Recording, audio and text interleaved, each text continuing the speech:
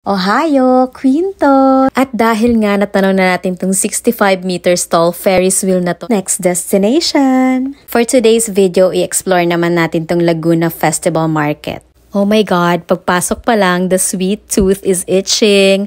Nakita ko kasi agad itong taiyaki. Ito yung fish-shaped cake na ginagamitan ng iba't ibang fillings like custard, chocolate, sweet potato, and this time ang ginamit ko nga is itong cheese filling. At para naman sa highlights nitong Laguna Festival Market, meron sila ditong fish market.